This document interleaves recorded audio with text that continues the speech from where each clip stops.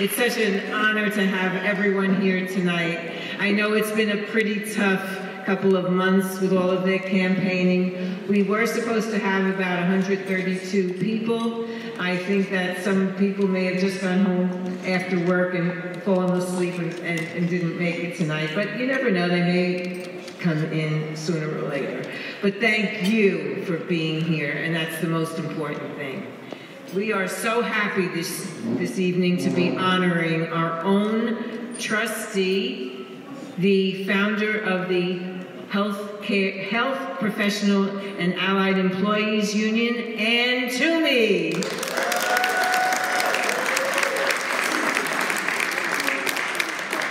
And the current president of the HPAE, Deborah White.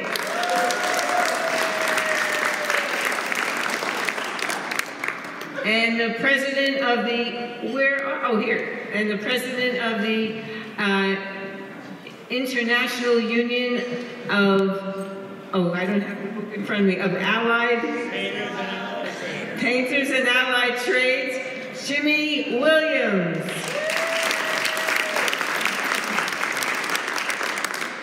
And our volunteer at the American Labor Museum, a fellow teacher and member of the, is it the NJEA or the AFT? Jude, NJEA, Judith Hughes Gray. Thank you so, so much.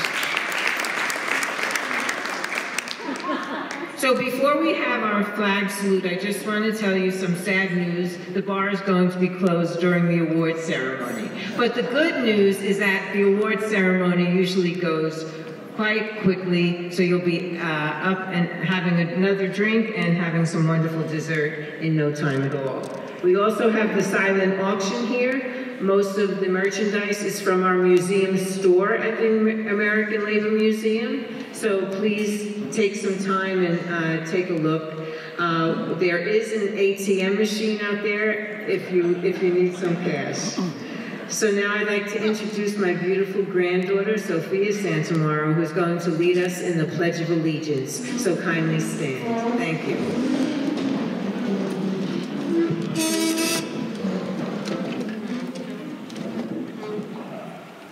I pledge allegiance to the flag of the United States of America and to the republic for which it stands, one nation, under God, indivisible, and Joe. Joe is our volunteer. Joe is our volunteer at the museum. He's been helping us for many, many years now with, you name it, he's there. And, and Joe's going to uh, lead us in uh, Star Spangled Oh, say, can you see by the dawn's early light. What so proudly we hailed at the twilight's last gleaming, whose broad stripes and bright stars through the perilous fight o'er the ramparts we watched were so gallantly streaming,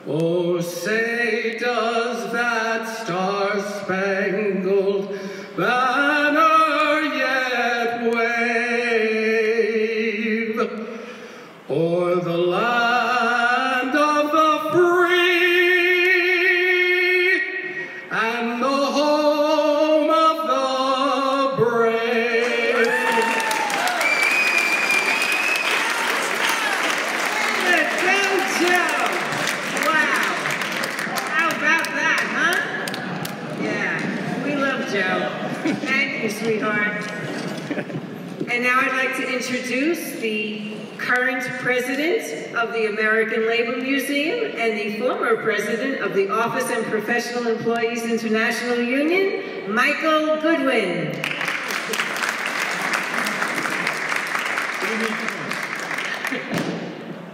By the way, uh, Jimmy, I think you're from uh, Maryland. The, the flag, uh, the song that was just so beautifully sung, uh, was written by Francis Scott Key, as you know, in Baltimore Harbor. And when you go down there, there's a, a little island right there, was it Fort, Fort Henry? And uh, it's a very interesting uh, trip. It didn't become our national anthem until when? Does anybody know? 1931. 19, it took them that long to, to figure that, to figure all that out. Well, uh, I'm here to join Angelica in uh, welcoming all of you and thanking you for your support of the museum. The museum is supported by volunteers like you who come and uh, participate in these events, and it allows us to keep the museum going with the educational uh, services that are provided. Uh, Sol Stetin, is pictured on your, on your program. It's hard to believe, many of us knew Saul very well. It's hard to believe that it's 42 years already? 42 years since the museum was established by Sol. And he had a vision. And his vision was that the museum would teach the younger people about the struggles of the past. And we celebrate the, I see the mayor of Paterson is here. Uh, we see, there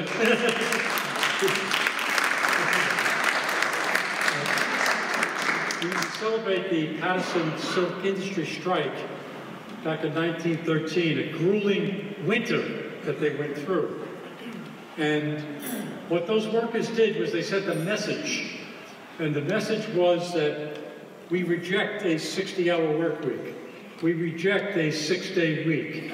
We, re we reject a 10-hour workday. And historians give credit to that particular strike that led to the five-day work week and the 40-hour work week that many of us enjoy today. But there are still many things that have to be done and many more messages that have to be sent. And we need the messengers to do that, and those messengers are us, but also in the youth that's going to follow us. So I'd like to recommend to those of you who have the power in your unions uh, to consider enrolling your executive board and enrolling your staff. When I was international president of OPIU, that's what we did. We put the entire executive board in membership into the museum and the entire staff into membership. It's a nominal fee. Is it $15 a year or something? Very nominal fee, but it starts them to, to be introduced to what we're doing here and basically carrying the message to the younger workers. It's amazing what the young people don't know today. You know, like this election was part of the mystery. But I was at your coma the next morning trying to figure out how the hell could this possibly be but it's because of the misinformation and the disinformation. And we have an obligation to put out the right information about labor, its purposes, its struggles, and how we can do more for the working class in the United States of America. So I want to thank you all for being here. I hope you will take up my suggestion. You can also send delegations to visit the museum. Evelyn Hershey is the educational director. She'll be happy to have more people come. You can bring groups. You can have your executive board meetings at the museum. We've got plenty of space to do that. And basically, to carry the message of labor and to make it stronger and better as we move along. Thank you all very much.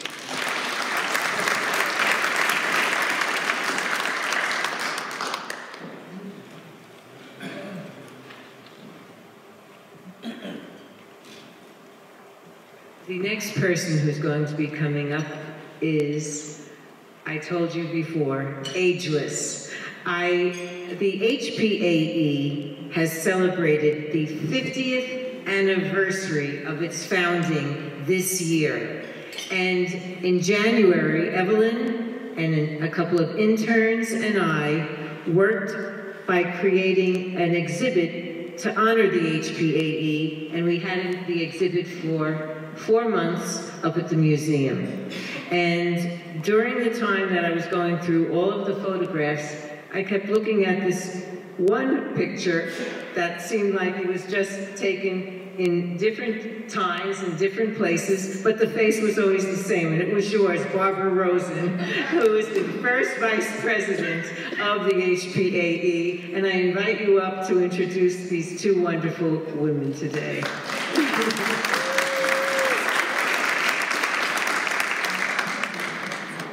Hi, everybody. Um, here, here. So, yeah, HPE has our 50th anniversary this year. And I have to tell you that this story started with a newly graduated nurse with a reaction to her first day of work at Englewood Hospital. And anybody that knows Ann Twomey would have to know it was something like, what the heck is this? This isn't gonna work. And that was the seed that was planted that grew into HPA. Ann Twomey, along with their colleagues, knew that they had deserved better working conditions and patients deserved better staffing. Their initial campaign for union recognition in 1974 turned into a strike, then a contract, and followed by another strike. Very daring for the, the times. The union militancy of Ann and the Englewood nurses spread quickly across New Jersey, inspiring nurses and other health professionals across the state to form their own unions. And today, HPAE represents 15,000 nurses and healthcare workers across New Jersey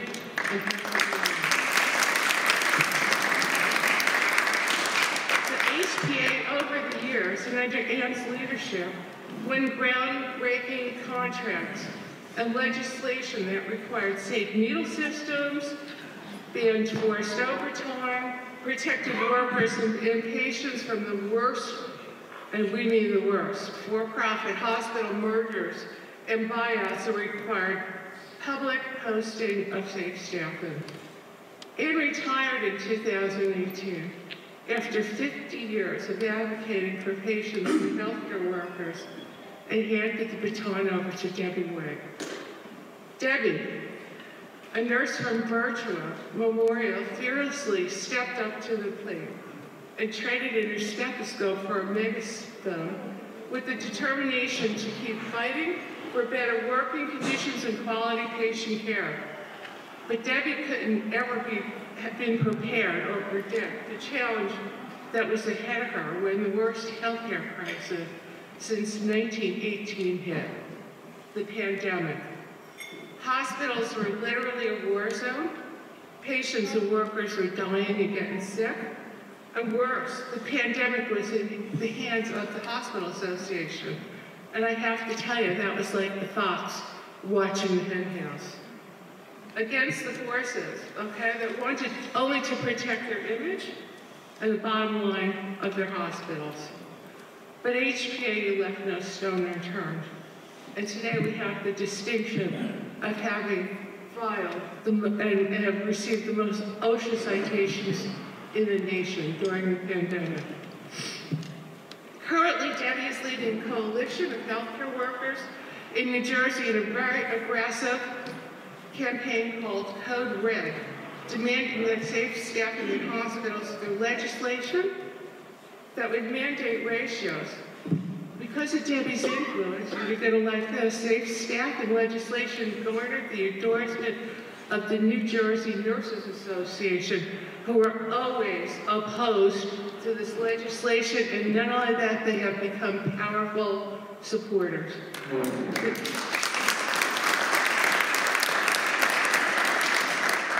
This campaign also includes ratios and contracts, and we're very proud that we have had several locals this year negotiate ratios in, in the contract. But the tough fight continues. And I have to remember that also Debbie and Ann, both as members of the AFT Executive Council, they weren't only fierce advocates for New Jersey and Pennsylvania, but they were fierce advocates, and Debbie still is, for the nation, okay? For workers and, and patients' rights. So it's really my pleasure to have worked with these two women over several years and to introduce Ann Twomey and Debbie White.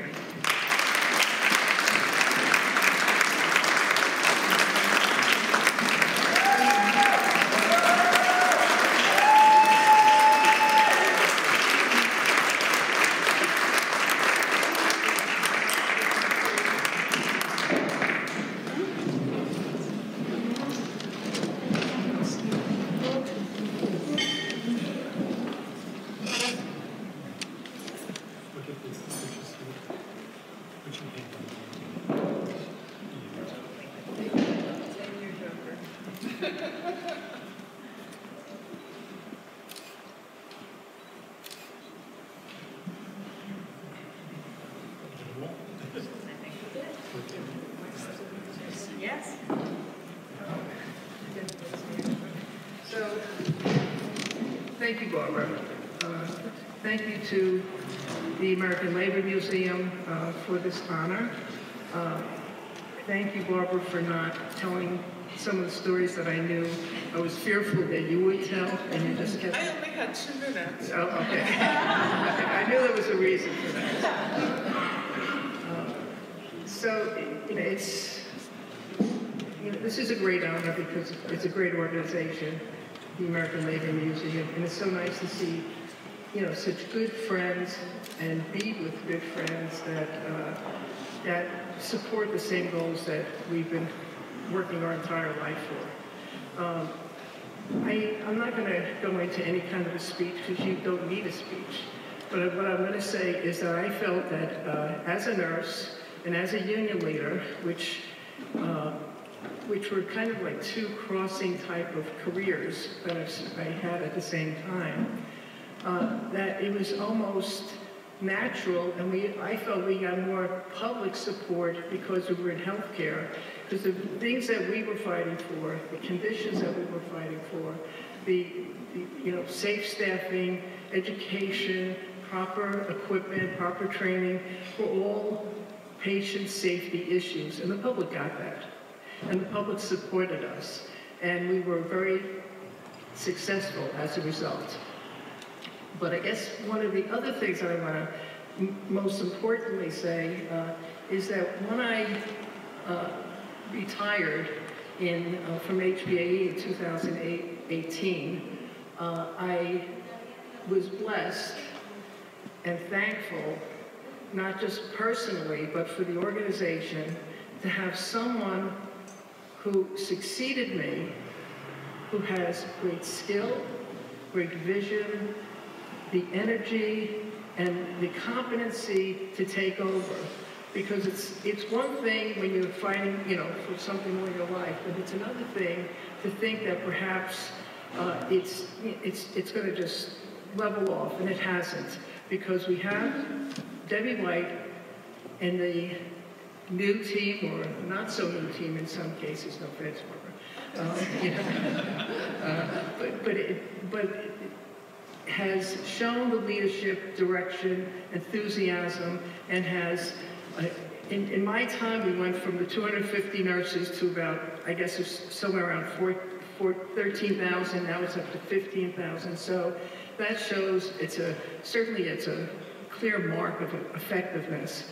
But uh, it is with my great gratitude that I turn the mic over now to my colleague, Debbie White, because she deserves the honor, the credit, uh, and for and my thanks for carrying out the legacy.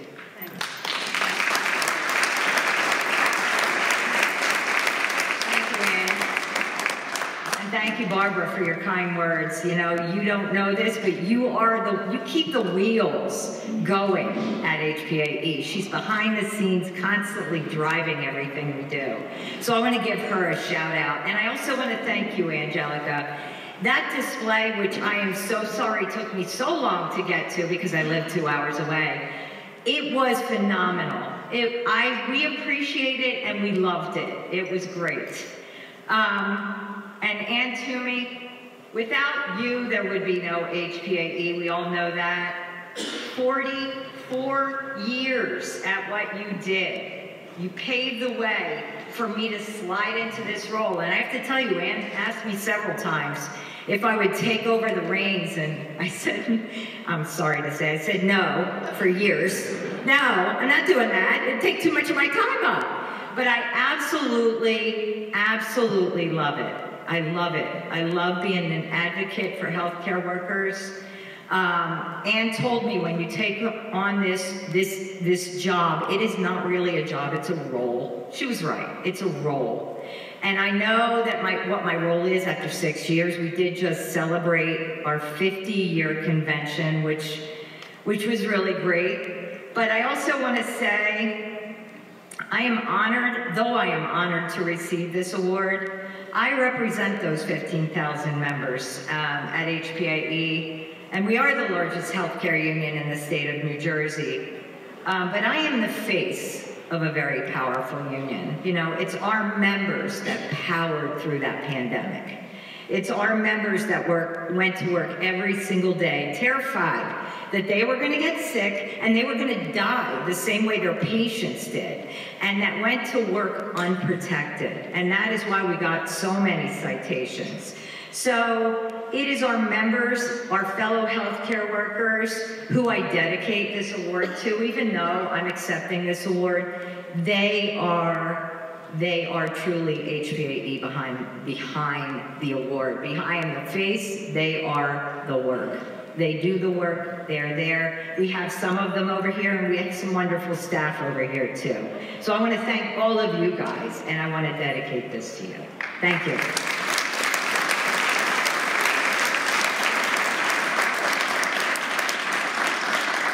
And we have um, our former vice president here. Would you stand up, Bernie Gerard? Bernie.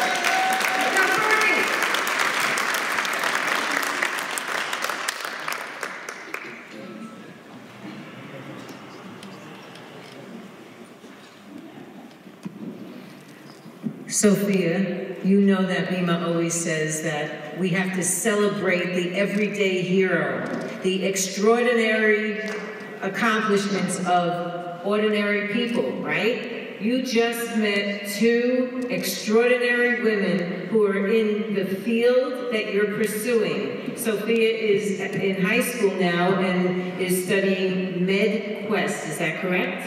And loves it. So I see her uh, following your footsteps and they're very inspirational. So I have some contacts. If you have any questions, you just ask me. thank you, Ann, and thank you, Debbie. Really, really heroes in my book. Um, you know, I'm really proud to say that I'm the daughter of a union painter. And to have someone here tonight from that union, leading that union, it's very, very close to my heart. And the person who I'm going to be introducing now, it has become a dear friend of mine. I met his wife for the first time, and the first words out of my mouth were, I love your husband. I don't know if that was the right thing to say, but I do, I do love you, Jimmy. He is so dedicated to the museum that whenever he comes, for whatever reason, he'll make his own work. He'll look and he'll say, that needs to be plastered, that needs to be painted, that, I mean, he can't do enough for us. Brothers and sisters, please put your hands together and welcome Jimmy Kearns, the design plasterer and business rep for drywall finishers from local union number 1976.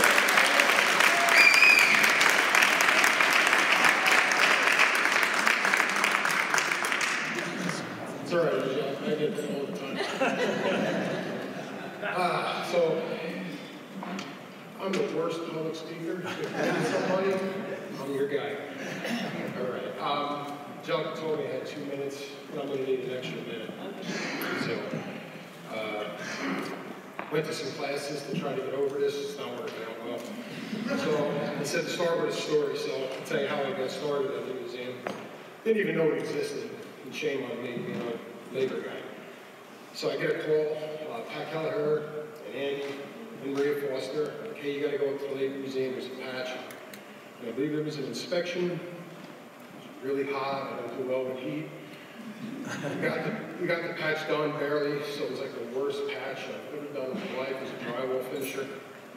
Terrible, but we got through it, and, uh, it's an honor to to go and help out, however and whenever I can. Uh, it's a special place, we were talking about it this afternoon, earlier at the, uh, at the museum. You know, it's the, the past is what helps us fight for the future. And that brings me up to, uh, James Jr., James Williams Jr., uh, president of IUPAT and Allied Trades. Um, we got a lot of stuff under that roof. It's not just the painters the Allied Trades Department, drywall finishers, glazers, industrial painters. There's a lot going on there. It's a lot to handle. Jimmy walks the walk, talks the talk, and walks the walk. He's a true union leader, breathes it, lives it. And uh, we're honored to have him as our general president. Uh, honored to have him here today special, like I said, looking at the past and move forward. And I'd also like to congratulate everybody else that's being honored. So I'd like to introduce James Williams Jr.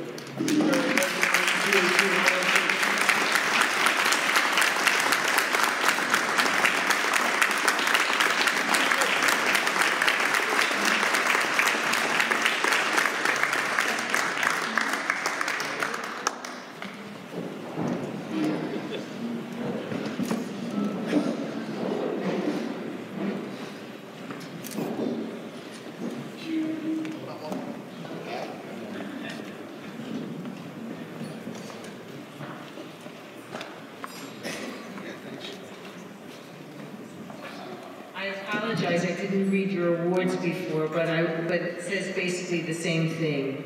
The Sol Stetin Award presented to James A. Williams Jr. by the American Labor Museum, Botto House National Landmark, November 20th, 2024, for his notable contributions which have improved the lives of working people and for his tireless dedication to just policies and causes. Congratulations.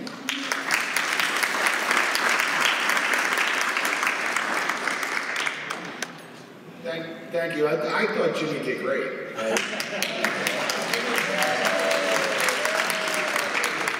But he, he was sweating. um, now, look, honestly, um, I had the opportunity, Angelica and Mike, um, to tour the museum tonight for the first time, and, and for me, it really hit home. Um, because you think about this time we live in right now, and you see what's really needed in, in, in our society, which is that deep education um, for, for people, and I, and I worry, like I, I just do. I'm a, I'm a father of three, and I worry about what world my kids are going to live in into the future, and I worry about oftentimes where, where is that sense of togetherness, that sense of solidarity, that sense of, you know, having each other's backs that, that the labor movement represents. And I, I just was really struck by the stories that um, Angelica told me that, that the House represents. And, and, it, and it really, I started thinking about my own kind of family and my own journey through the labor movement. Like my great grandfather was a charter member of my union back in 1918, 1919, you know, and I think about what those times must have been like. You know, we didn't even have the opportunity or, or the right to exist back then when my grandfather or great grandfather joined our union. And I'm a fourth generation of, of, of my union, and I think of like, yeah, you know, sometimes we put our heads in the sand and we go, wow, it's going to be so hard, it's going to be so rough. Um, you know, these next four years could be so hard on all of us, and, and they will be, and they will be challenging. Um, but when you think of some of the challenges that people that came before us truly had, and that people that legitimately gave their lives for each other and a cause that was bigger than them, it really does help you see the future. And, and, and the value and the lesson that's learned in our history is something we have to teach the rest of this country. Because the labor movement is oftentimes what I call the most forgotten movement in this country, and that's by design, folks. And the work that you do, and the work that you guys do, in continuing to tell our story and our heritage is something that I think is truly amazing. Um, and, and on a personal note, you know, it's nice to be in New Jersey. It's nice to be around, you know, friends in, in the labor movement, especially in this kind of time period that we're in. But, but on a personal point, when I looked at the book and seen, you know, I'm, I'm just a high school graduate, a glazer by trade, which most of you probably don't even know what that means. I put glass in for a living. And I see names like John Sweeney, and I see names like Dolores Huerta, like Dolores Huerta, like from the United Farm Workers, and I, and I see names like Randi Weingarten and Mary Kay Henry, and I go, what the hell am I doing here? You know? But it definitely strikes home to me that, you know, our movement has some amazing leaders that came before us, and it, and it truly is a badge of honor to even be standing here tonight and be mentioned in the same vein as some amazing people and, and leaders that I look to for for courage and I look to for conviction. So I just want to thank you two so much for tonight. And, um, I, I know I'm going to be joining as a member, and I would say that anybody in here who hasn't, I think it would be a good idea to, to also join. So thank you all.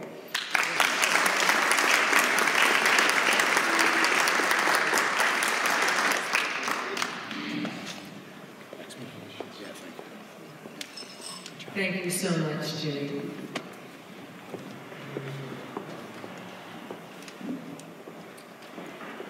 So, so President Williams did mention someone who's very, very close to my heart, and that is our education director at the American Labor Museum, Evelyn Hershey.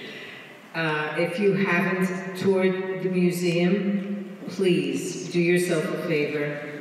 Please come and have Evelyn tell you the story. No one does it better. Love you, Evelyn, and I invite you up now to introduce our next honoree. Oh, there you are.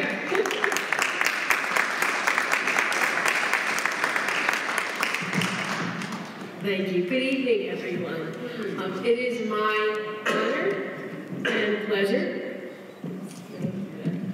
to introduce Judith Hughes Gray, who is receiving a special recognition award tonight.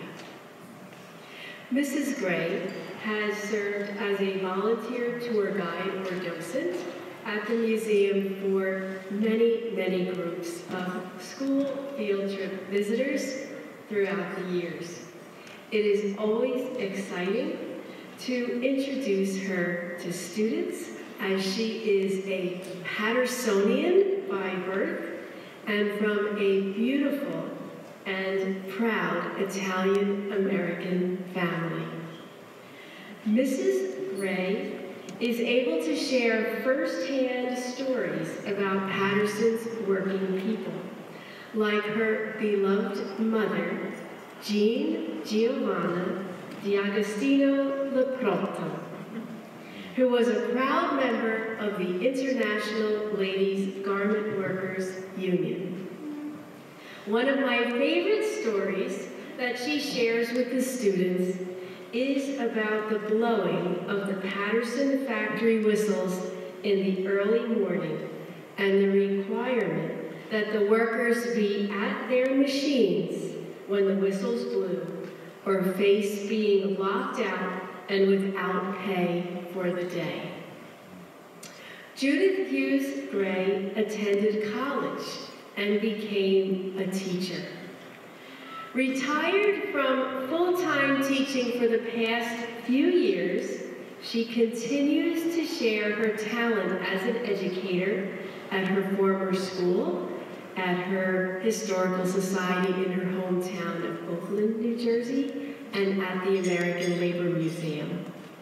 Certainly, thousands of students have benefited from the gift of receiving lessons from Mrs. Gray. At the museum, we are very appreciative and grateful for Judith Hughes Gray's efforts on behalf of the American Labor Museum and honor her this evening with this special recognition award. Judith Hughes Gray.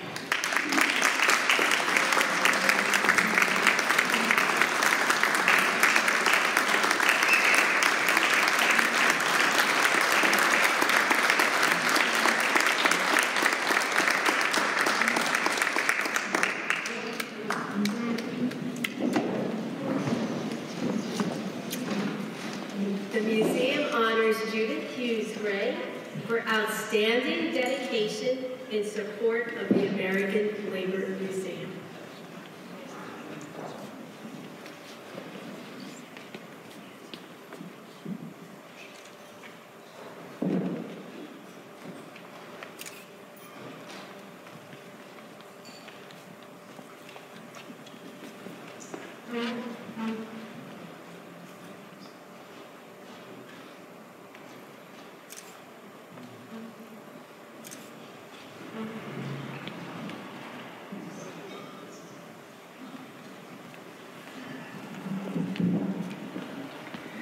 Well, obviously, it's a big thank you to my mentor, who has, um, who has shown me the way through the house. But I had been there before, and when I walked in, I was, I, my breath was taken away because I felt like I was in all my great aunts. There were five sisters who lived in Paterson and married um, people who were uh, in the factories, really. Like my grandpa was a tailor, but he opened up his tailor shop right by the falls. And there were five other ones, like Conte Giacomo, uh, the stonecutter became the monument company man, and there was the barber, and the Total Pastry Shop was another um, craftsman who, be, who opened up a place in Paterson. It was phenomenal. Oh, by the way, I do have two Irish names, but I'm fully Italian.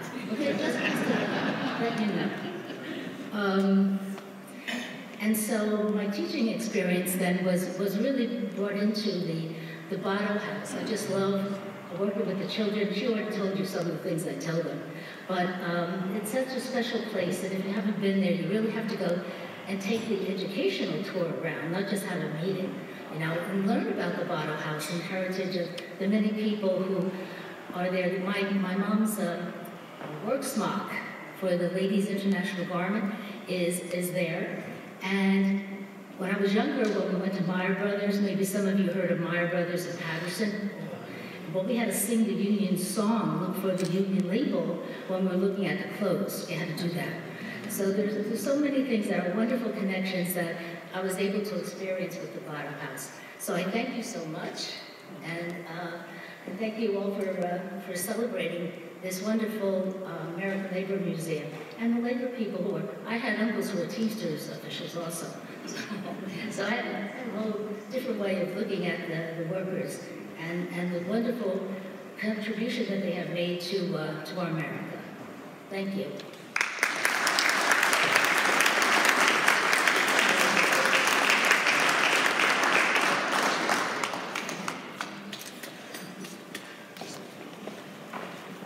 I love this night so much because we really honor people who are so well deserving of being recognized. Give them another round of applause, please.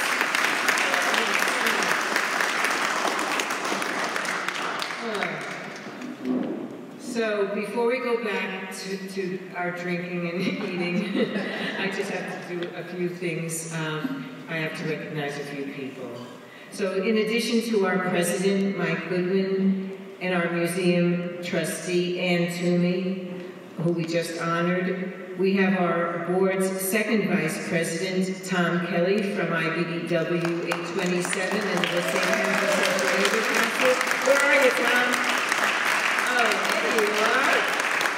He was so happy that he didn't wear the same dress as mine tonight. so, um, our uh, and our trustees, Pat Kelleher from where are you? The plumbers. Okay, Pat. And is did Tom leave? Did Tom Giblin leave? He did. Yeah. Oh, Tom Giblin was here, and Brendan Griffith is he here, and Orlando Riley from ATU. Thank you all for all that you do for the museum.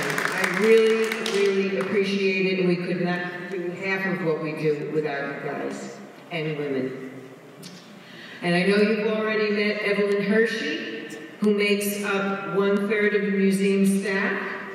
And I'd like to introduce someone who's been on the phone with a lot of you during the past few weeks, our office manager, who works so hard on this event and works so hard on everything. Again, I don't know what I would do without you, Robert. Robert Ledley, I love you. You?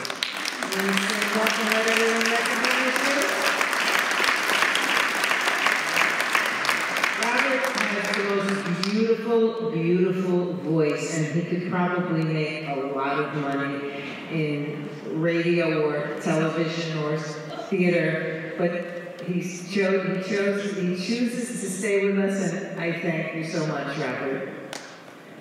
Um, and, as you all know, a non-profit organization could never function without volunteers. And you just had the opportunity to meet Judith Gray, one of our volunteers, and Joe LaFalce. But I'd also like to introduce Art Guarino, who happens to be Evelyn's husband and actually met Evelyn at the museum when he came for a tour and fell in love.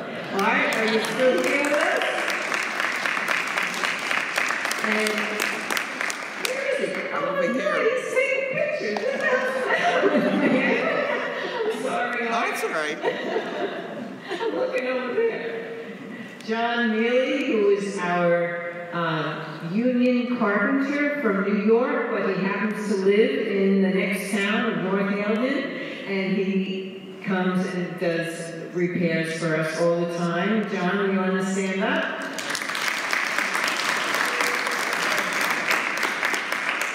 I, I just have to share what John is working on right now because I'm very, very excited. So in 1908, when Pietro Botto built the, the house in which the museum is located, um, he had a, a, a backyard where he grew fruits and vegetables and herbs, and he built them, he grew them in like miniature greenhouses that are called cold frames.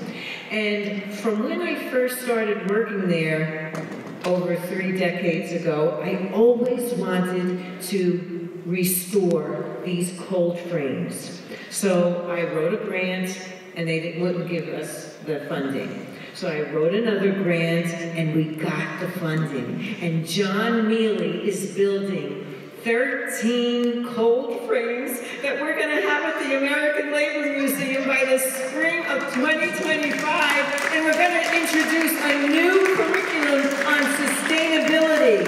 What's old is new again. So I am so excited about that. And we're all invited to the unveiling when we unveil these beautiful cold frames. Bless you, John, for your wonderful, wonderful work that you're doing. I'm so excited. Bon appetit, garden leave. yeah, we're gonna have to make a meal with all of the stuff that we're growing. Yeah. Um, and last but not least, I have to recognize the volunteers who work so hard at our Labor Day parade. Our brothers and sisters from Local 827 IBEW who grill and serve hot dogs and drinks to hundreds of marchers at our parade. Please stand.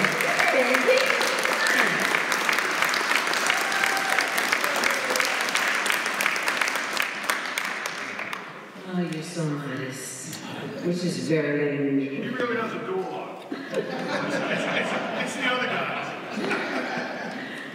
And I can just do it. I don't need, you know, uh, mom needs it, I don't need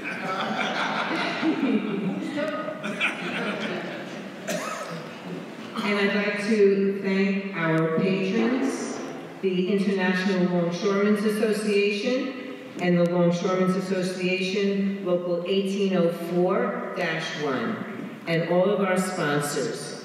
The Amalgamated Transit Union New Jersey State Joint Council, I introduced you to Orlando before, who's our trustee. The American Federation of Teachers New Jersey, thank you so much.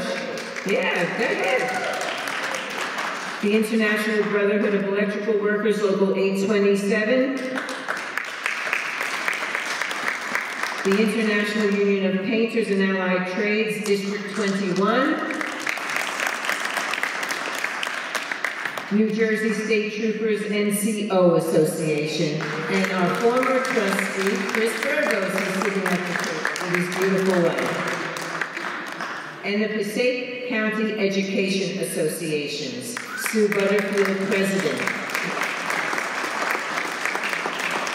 I just want to tell you something about Sue and Tom and a few other people who are not here tonight, especially with the HPAE being present. I'm going to get emotional. Um, we are going to be, um, we're going to put a, a monument honoring all frontline workers in a park that's one block away from our museum. And we're going to have it renamed. We're hoping we didn't get the official okay on it, but I'm going to announce it anyway. The Workers' Park. And we're working on that. We have another meeting coming up in December, and we're getting funding for it, so you'll be hearing about this monument. And I'm very, very excited. And, And don't be afraid to contribute. and don't, yeah, that, that's the part that, that we're going to be working on, yes. Yeah, so that's very, very exciting. So, again, thank you very much for your support of the museum, for being here this evening. And ordinarily, at this time, we have a gentleman by the name of Bennett Zurofsky, who is a labor lawyer, but Bennett is not feeling well this evening. So uh, we usually stand and sing Solidarity Forever as he plays the guitar. And because I can't sing and my son can vouch for, for me, he was, he never, ever, ever cried until I started singing. so that tells you something about my singing voice. So instead of singing Solidarity Forever, I'd like you all to please stand and hold hands with the people next to you. And repeat the words after me. Solidarity forever.